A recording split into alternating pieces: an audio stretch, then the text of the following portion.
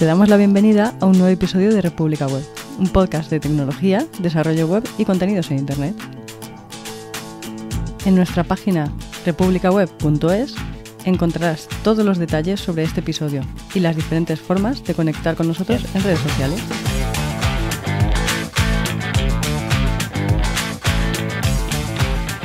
Bienvenidos al episodio 141 de República Web. Yo soy Javier Archeni y me acompaña desde Valencia Andros Fenellosa. ¿Cómo estás, Andros? Eh, Súper bien, muy bien, muy cómodo ya con esta situación. ¿Qué remedio? Te veo, te veo barbado como siempre. Eh, me, me comentabas que has ido a la peluquería. Sí, la sí, ha sido. eh, Fíjate, esto no lo contaría en este programa el año, bueno, el año pasado, sino quedaría como un loco. Pero sí, he ido a la peluquería y ha sido una experiencia difícil de explicar. Como decía, me he sentido un poco empanado porque me han tenido que llenar de plásticos y. y, bueno, ¿Te pusieron el preservativo en todo el cuerpo? sí. No ha pasado nada. Muy bien, y tengo a otro barbado, esta vez de Salamanca, a David Vaquero. ¿Cómo estás, David? Hola, ¿qué tal? ¿Cómo andas, Javi? Muy bien. Oye, enhorabuena por esa primera venta en tu experiencia de los hornazos online, ¿eh? Ya me siento un entrepreneur eh, de, de- de tomo y lomo, ¿eh? Pero bueno, tengo que Eres decirle el- que muchas gracias a la gente de la escalera, que nos está, nos está ayudando bastante y, y de hecho hemos enviado un hornazo ahí a Alicante. Toma Ya ya. tenemos fotos y todo. Ya estás repartiendo hornazos por toda la geografía española. Sí, lo único que nos está costando encontrar cajas para enviar, que no te quiero ni contar, debe estar todo el mundo enviando como locos. Bueno, Y además que, sí, eso sí que es verdad, que tiene que haber cierta carencia. Y otra cuestión es el que cuando trabajas con un producto online, luego está el producto de verdad físico, que es la logística que involucra, que no deja de ser la realidad del comercio online, que es un negocio de logística en el que tienes que manejar los hilos de terceros que como fallen afectan a tu negocio. Eh, Tú puedes hacer un gran trabajo ahí en el obrador, pero si luego el producto no llega en condiciones, fracaso estrepitoso. O sea que Sí, la No verdad es que ha sido curioso, ¿eh? Porque eh, ha sido la leche. Eh, porque, porque, claro, yo tenía previsto hacer las pruebas de, pues eso, de Stripe y de, y de PayPal, entonces, claro, lo, lo dejé abierto para que pudiésemos probar. Cuando de repente, un día a las dos y media de la tarde, mi pareja abre el correo de Spark que le tengo configurado en el móvil, con diciendo, ¡pum! Tienes un pedido de dos hornazos. Y mi pareja, ¿cómo? Pero no me habías dicho de que esto todavía no estaba. Yo, "Mm, cariño, eh, hay que aprovechar. ¿Tienes caja, no? Pues ala, vamos a enviar un par de ellos. Así que, joder, casi me asesina, ¿eh?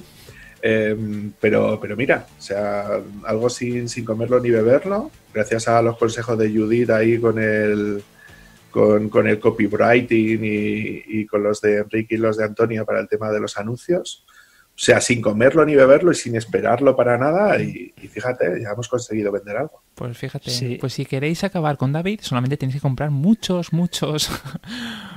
y entonces tendréis dos Lo tenemos deshabilitado todos los medios de pago, no pueden. al, al- al menos hasta que repongamos las cajas estas de pone que nos está costando encontrarlas como si no hubiera un mañana. Y luego la sensación esa de recibir un pedido es una sensación fantástica. Eso te genera una adrenalina Mm. en el cuerpo cuando recibes un, los primeros pedidos. ¿eh? Imagino que luego la gente se acostumbra al, a recibir pedidos, aunque siempre eh, yo que colaboro con también con alguien que tiene una tienda online y siempre es una alegría recibir pedidos, ¿eh? Mm. que alguien confíe en ti, porque es la clave, ¿no? que, que confíen en ti para que les mandes un producto eh, pagando por anticipado y todo eso. Parece que es una tontería, pero no lo es. Cuando tienes que cobrarle a un tercero, a alguien que no te conoce de nada, es una alegría. La verdad es que el, el tema de tienda online, cuando funciona y ayudas a que la gente tenga su negocio a través de, de la red, es, es fantástico, es una gran alegría. Sí, si tú lo dices, sí, mi pareja estuvo a punto de asesinarme.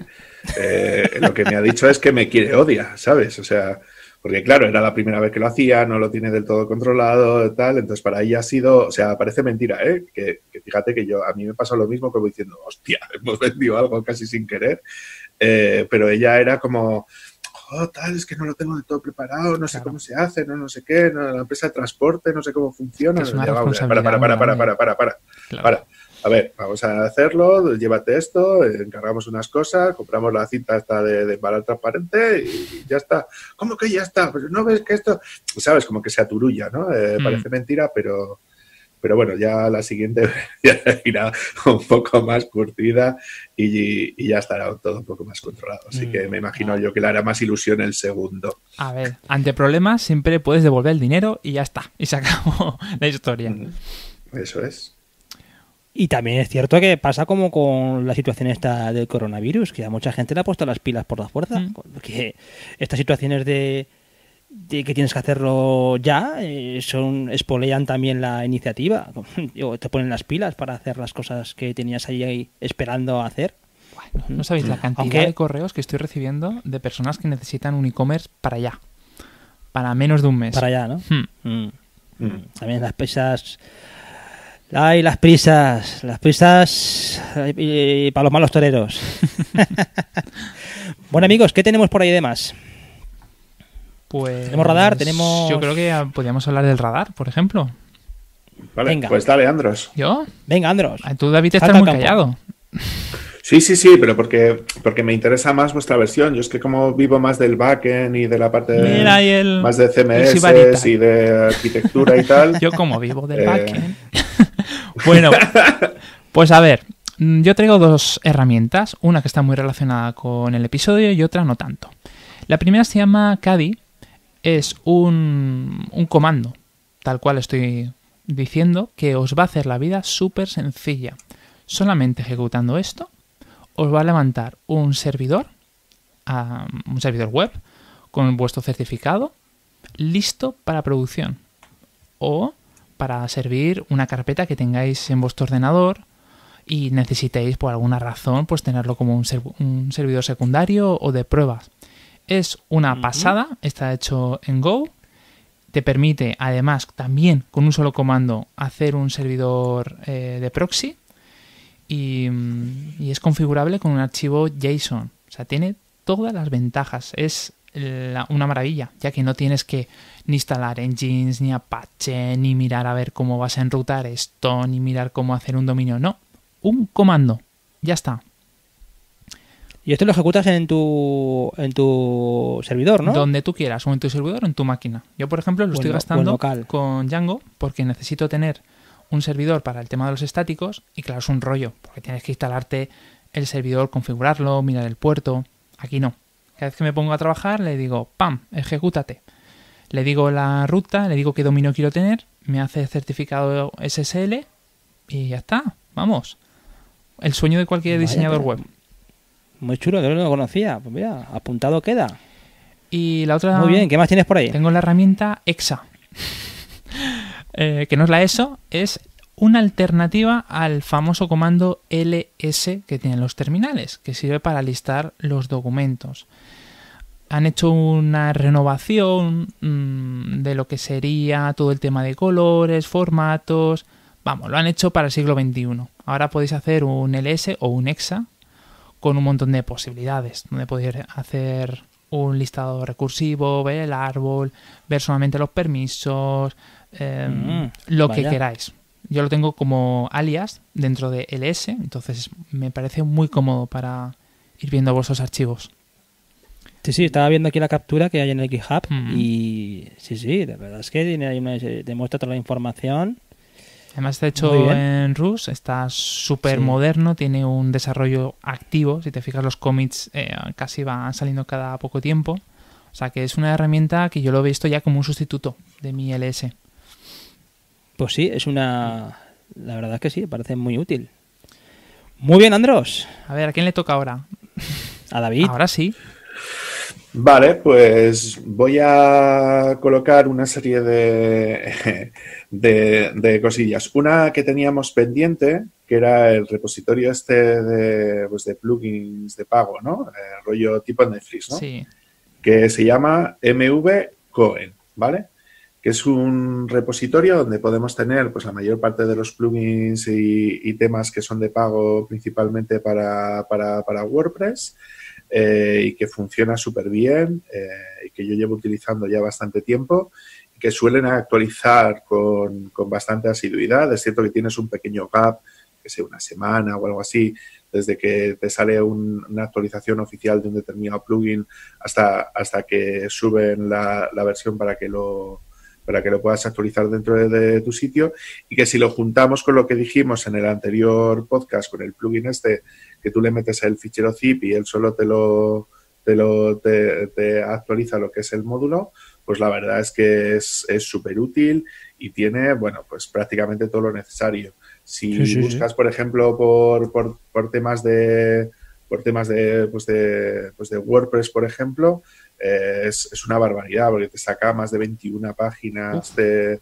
pues, de, resultados, o sea que está súper bien, además que tiene pues, pues los más importantes, ¿no? Yo, por ejemplo, que tengo los, los plugins estos típicos de membresía, de suscripciones y cosas de ese estilo, eh, pues eh, todo eso sí lo tiene, ¿no? Y luego, pues, pues temas de pago.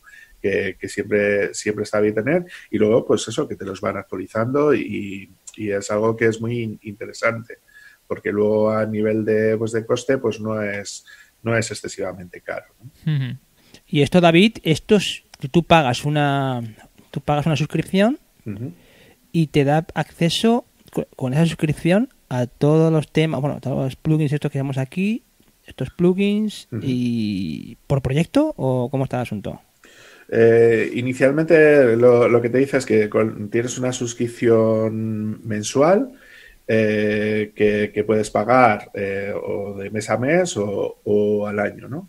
Entonces, si, si, pagas de, de, mes en mes sería pagar como unos 8 dólares más o menos.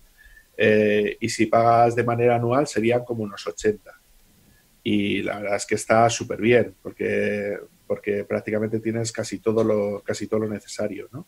Entonces son todos esos plugins que son con licencia GPL, ¿sabes? Que, que son open source y que, y que tienes prácticamente acceso a casi todo, ¿no? O sea que en ese sentido yo a mí la verdad es que, me da la vida porque tienes prácticamente de todo, ¿sabes? Desde mm. temas de administración, temas de gestión de afiliados, eh, temas visuales para colocar, integración, los, los, los típicos plugins, ¿no? Yo que sé, el All-in-One SEO Pack Pro, los plugins que son de pago pues, pues para WordPress, todos aquellos Content Pro, Calendar... Claro, es, que tienes prácticamente todo. Y luego los, los principales gestores de temas, ¿no?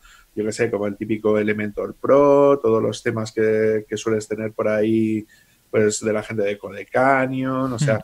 es, es, un repositorio que está súper currado en ese aspecto y, yo la verdad es que lo recomiendo y, yo lo estoy utilizando y me está viniendo súper bien, ¿no? Y, y, por el precio que tiene eh, la verdad es que me parece espectacular lo que nos ofrece, ¿no? O sea, a mí me parece brutal. brutal Pero la duda que tengo, David, es si tú te suscribes a esto, ¿lo puedes meter en diferentes sitios web? Inicialmente es código open source y con GPL. Tú la GPL lo que te permite es que una vez que tú lo has comprado, tú lo puedes distribuir. ¿Sabes? Entonces lo que te hace es que te unifica todo como si fuera un repositorio de un repositorio de plugins distinto al que te ofrece WordPress pero que son plugins de WordPress. O sea, o sea es que son todos los, los que son de open source con, con licencia GPL. Y la mayor parte de ellos son así. ¿Sabes? Es decir, que tú lo pagas, claro, lo que no tendrás es el soporte, evidentemente. ¿Sabes? O a, mí hay un plugin, por ejemplo, que me intenté bajar ayer, que era el de la integración de, de Google Analytics Pro para, para, WordPress y no me funcionaba bien lo que era la parte de, pues, de la conexión, ¿no? Pero es, es, el único que no me ha funcionado. Todos los demás me han funcionado perfectamente. O sea que en ese sentido a mí me parece que, que, es, que es una muy buena opción por lo que te digo, porque tú una vez que adquieres un determinado producto y es en licencia GPL, gracias a que es licencia GPL, tú lo puedes redistribuir sin ningún tipo de problema y si quieres cobrar por ello, puedes cobrar por ello. O sea, eh, es software libre en estado puro, ¿no? Como quien dice. Mm. Eh, entonces, en ese aspecto a mí me parece súper bien, ¿no? Porque al fin y al cabo luego eso lo, yo por ejemplo en las dos en las dos tiendas ¿no? en la tienda de cursos de desarrollo y en la tienda de, pastelerías Berna yo yo lo, o sea yo estoy compartiendo plugins. O sea que es, es, tener un acceso real a prácticamente la mayor parte de los plugins que son premium sin el soporte claro es pero, pero la manera de poder incorporar todo ese tipo de cosas a mí me parece que está genial o sea está increíble. Por, por, el precio que ofrece ¿eh? me refiero No, como tú, como tú indica, como indican ahí, ¿no? El Netflix, el Netflix de los plugins. Mm, Está impresionante. es. Estoy haciendo un listado de los típicos plugins que suelo utilizar y es que están. Mm. Claro. Luego la- el siguiente que quería colocar es eh, LearnDash, que es una herramienta que permite realizar eh, la integración de una especie de LMS dentro de, dentro de WordPress eh, y que la verdad es que tiene bastante buena pinta eh, y que, eh, ya para terminar ya la cuña completa, hemos hecho una entrevista a Isa Gómez, que es una, es una mujer que se dedica a, temas de, formación online y que trabaja para, para una organización que ofrece, que ofrece cursos on- online y nos ha contado en el podcast de Formadores en Tiempos Revueltos, que colgaremos un poquito más adelante, eh, cómo funcionan estas herramientas de integración del MS con, con, con- con WordPress, cuáles son las ventajas que tienen y las características a niveles de, pues eso, de integración con WooCommerce, de qué tipos de actividades son las que nos permiten llegar a hacer y que están bastante bien y que simplifican bastante lo que es el proceso de, la, de colgar contenidos online y de, y de cobrar, pues bien, un curso que tú tienes, ¿no? que quieres cobrar por él, o de hacer un seguimiento didáctico de los alumnos a través de, de contenidos que tienes colgados dentro, dentro de WordPress. ¿no? Y para ella la, la mejor herramienta que tiene, que, está construido como plugin para, para WordPress, para ella es LearnDash a nivel de a nivel de gestión, ¿no? Y luego eh, Sensei, ¿no? Que es el que es el oficial, ¿no? Que, tiene ya la gente, creo que hasta ha comprado la gente de, de, de Automatic, si no recuerdo mal, Para sí. poder que, para poder meter todos estos contenidos online en plan educativo y cosas de ese estilo. O sea que si necesitáis una un eh, colgar contenidos online, cobrar por ellos de ese estilo, pues podéis mirar estas, estas dos herramientas, pues porque están bastante bien. Y si queréis enteraros cómo funciona, pues ir al, al, al podcast de formadores en tiempo revueltos. Muy bien. ¿Y tú, Javier, qué? Ah, perdón, Pues- perdón, perdón, que se me olvidaba un- una, una cosa. Pero lo que sí tenemos ya colgado es la entrevista que le hicimos a Andros y a María de Idecrea eh, en el último episodio. Ese soy yo. Ah, claro, sí, sí, sí, claro. Eso es, que ya está colgada y que, y que lo podéis llegar a escuchar y que ya veréis que es súper interesante. Exacto, y además María es una gran profesional y recomienda a todo el mundo, pues, bueno, dedicar unos minutos porque aprenderá mucho. Pues estupendo, ahí queda esos enlaces comentados. Eh, yo escuché ayer la entrevista con, con María y con Andros y la verdad es que me gustó mucho. Lo- Los conozco, por supuesto, conozco el proyecto, conozco aquello, con lo que no descubrí gran cosa que no supiera, pero para la gente que, que tenga curiosidad es una entrevista muy interesante. Bueno, lo mío. Venga, ¿qué es de lo mío? Eh, yo traigo tres cositas. La primera es un artículo que no es un artículo, sino es una recopilación de una de fuentes, una de esas cosas que siempre está bien tener ahí guardadas en el, en el pocket, en algún sitio, y es lo que he hecho yo. Yo he cogido ese artículo, se llama Las mejores fuentes web y, tipos para eh, gratuitas que encontrarás en la web, ¿no? Y es un artículo que incorpora ahí una serie de fuentes muy bonitas, muy elegantes que está bien tener guardadas, ¿vale? Por cuando tengas que hacer algún proyecto, cuando tengas que hacer algo mm, que implique algo de fuentes y no te lo han dado y quieres ser creativo, si no te dicen qué fuente utilizar, pues siempre tienes que ir tirando, como hemos comentado alguna vez, pues tienes que ir a morir a las fuentes de Google y eso pues al final termina por ser las fuentes que todo el mundo utiliza, con lo que no está de más tener ahí unos recursos de fuentes diferentes tanto para ilustrar como para web. El artículo lo dejamos en las notas del episodio porque soy incapaz de pronunciar la página web. Se llama vansnyder.com. La dejamos, Claro que como no. digo, Vans o sí, Schneider. No hace falta que lo pongas en las notas del programa, ya con, con viva voz.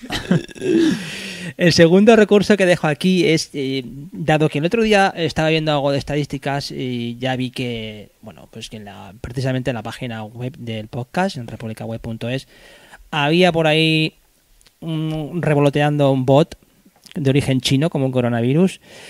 Y dije, ostras, aquí hora de poner un firewall. Y encontré uno que lo vi recomendado y me pareció ligerito, me pareció que hacía lo que necesitaba. Y no lo conocía y se llama Ninja Firewall para WordPress. Es un, es un plugin que como básicamente es un, es un WAF, ¿vale? Es, una, es, un, es un firewall que te permite bloquear esas conexiones malignas y que ayuda a proteger de manera drástica la, bueno, la integridad, el acceso al sistema y que nadie haga tonterías con el con tu, con tu WordPress. Y se llama Ninja Firewall, está muy bien, lo tengo activo ahora mismo y, y repasando los logs del, del firewall. Es impresionante la cantidad de basura que es capaz de bloquear en un WordPress un firewall de estos, ¿eh? con lo que si tenéis por ahí algún proyecto sensible o que le tengáis mucho cariño, eh, súper recomendable instalar un firewall hmm. de eh, aplicación, ¿vale? y el tercer de pago también, ¿no? Sí, tiene, pero la versión gratuita es sorprendente la cantidad de cosas que hace. ¿eh?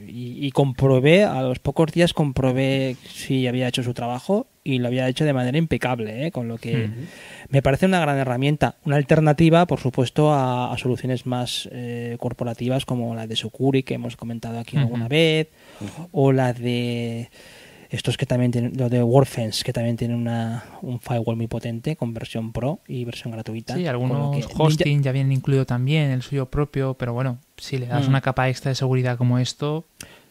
Sí, aparte es muy personalizable, se agradece que también tenga muchas opciones a la hora mm. de, de, activar o desactivar, con lo que está muy bien. ¿eh? Yo no lo conocía, lo vi referenciado y me ha convencido. Ninja Firewall. Y el tercer recurso, y con esto termino, es eh, otra colección de eh, activos gratuitos para tus proyectos de vídeo o también para tus proyectos de audio, porque incorpora tanto clips gratuitos de vídeo, clips eh, de audio, que por cierto, yo bajé uno para este podcast, es sorprendente la calidad que tiene, se llama Miskit y prometen ser un repositorio de activos gratuitos para tus proyectos de vídeo, para tu próximo proyecto de vídeo. Miskit.co y tiene, tiene calidad. Los ¿eh? vídeos veces... son muy currados, ¿eh? Mm, ¿Sabes qué pasa? Que estas páginas como Pexels y alguna de estas como incluso con Unplash terminas por tener ya las mismas imágenes de todo el mundo, ¿no? O los mismos clips de vídeo, con lo que tienes que procurarte yo lo recomiendo para el audio, ¿eh? porque el vídeo es más complicado, porque editar vídeo con de stock tienes que ser un artista para que no te quede demasiado impostado. Pero los archivos de audio están francamente bien, tienen mucha calidad y son gratuitos. Ojito que son gratuitos. me parece un gran recurso que me ha apuntado para mi Pocket. Mist Kit. Yo me lo apuntaré para poder montar los vídeos del, radar de República. Sí, sí, sí. Apúntalo porque tiene, tiene mm, yo ahora te digo, creo que el último la última música que suena con el programa que, creo que es de ellos, ¿eh? Con lo que y está francamente bien. Directo a mi pocket. Al pocket, directamente al pocket, venga. Sin hablar. Bueno, tienes por ahí, querías comentar una encuesta, ¿no? Que hiciste hace poco en Malditos Webmaster, ¿no, Andros? Hombre, quien no lo sepa y sea nuevo en el, en el, programa, primero decirle que escuche todo lo anterior y segundo, de que tenemos un grupo de Telegram bastante activo, ahí que hacemos debates bastante bueno, tocamos de todo un poco, todo relacionado con el desarrollo, por supuesto. Y de vez en cuando solemos subir alguna encuesta. La última fue, ¿CSS es un lenguaje de programación? No, no, eso ya lo tocamos aquí, ¿eh? Un episodio. Ya, pero bueno, no sabíamos qué pensaban nuestros oyentes. Y pues eh, tenemos ahí unas cifras. Vamos a ver, el hilo de conversación no tenía fin. Pues salió los, los siguientes resultados. El 41% opina que sí, sí lo es, mientras que el 59% dice que no. Vaya, pues, pues yo decía que estaba ahí, que son cifras, hombre, ganan no, ganan no, pero es un 41% de criaturas que dicen que sí. ¿Y vosotros qué opináis? Sé que estamos aquí, va, mojaros. Yo, he votado que, sí. Muy bien. Eh, es que es una cosa que ya. Por eso te decía el episodio, porque no voy a pronunciar porque ya hicimos un episodio y ahí quedó el testimonio grabado, con lo que recomiendo que recuperar, le dejamos también la, el enlace del episodio, porque creo que en el, episodio tocábamos los puntos fundamentales que responden a la pregunta ¿no? y, que explican también esa división entre el sí y el no. Quizá las dos respuestas justificadas puedan, puedan, puedan dar respuesta igual de válida. Aunque creo recordar que la mayoría nos, nos optábamos por el sí, Hmm. debido a su sobre todo al tema de estos preprocesadores y todas las integraciones que tiene ahora nuevas. Y, Exacto. en fin, que- Y bueno, para la semana que viene eh, hemos dejado otra encuesta. ¿Cómo subes tus páginas o web apps al hosting? ¿Explorador de archivos del hosting?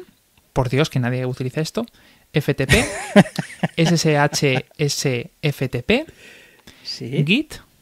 ¿Utilizas algún sistema de deployment automático? O sea, CI/CD. O por Seur.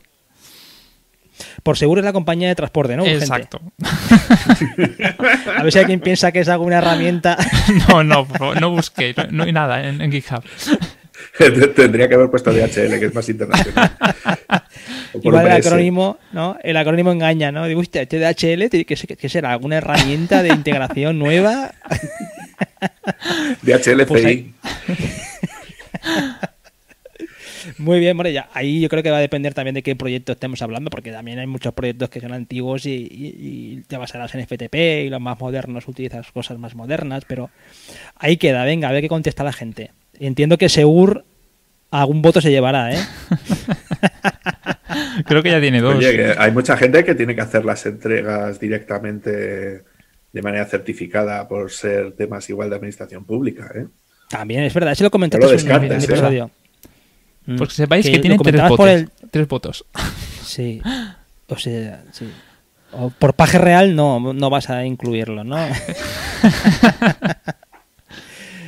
bueno amigos, con esto ya podemos dar por finalizado el episodio, ¿eh? Sí, ya, ya, yo creo que hemos tocado Sí, todo lo estático es. posible. Ya toca, ¿no? Sí, ya toca. Mm.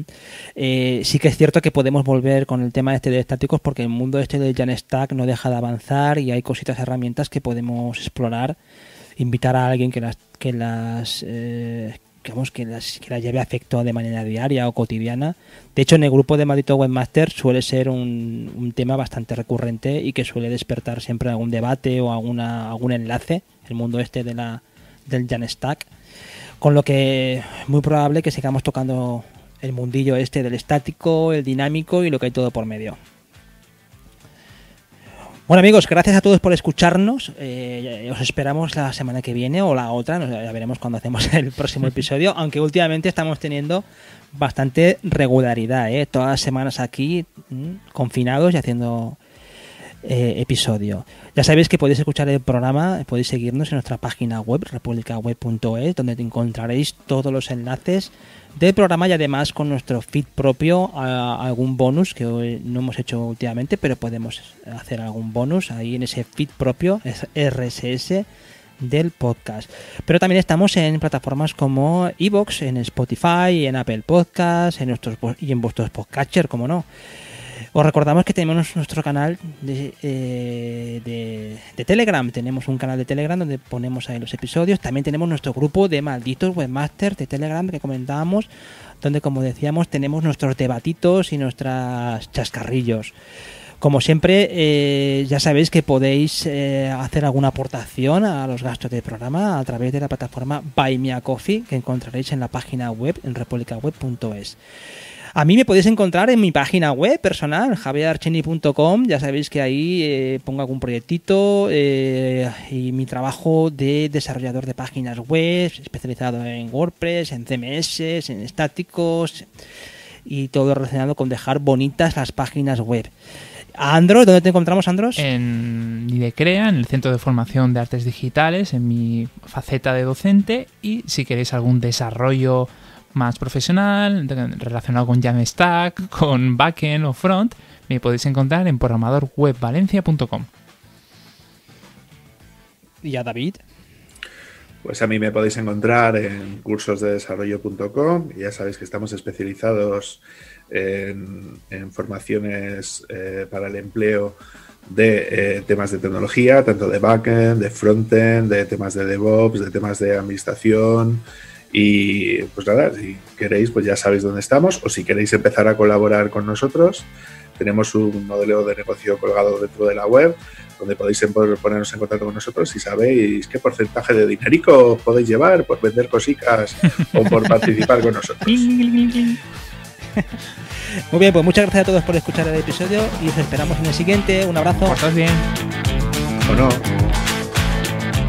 Muchas gracias por escuchar el episodio y te animamos a que participes con tu valoración o comentario en cualquiera de las plataformas donde se publica el podcast.